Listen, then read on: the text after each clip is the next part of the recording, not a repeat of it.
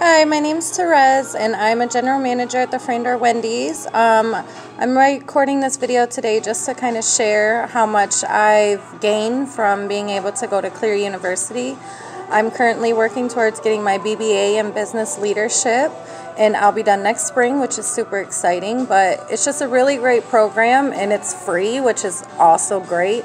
But it's super flexible and I'm able to still work my 50 hours a week and be a mom and and I'm still able to attend my classes and I'm doing really well and I just couldn't be more grateful to have this opportunity so that I can get this degree and go further in my career. I've put it on hold for a while because I didn't have the money to pay for school, but thanks to TSFR, I'm able to go back to school and get my business degree and I'm super excited about it.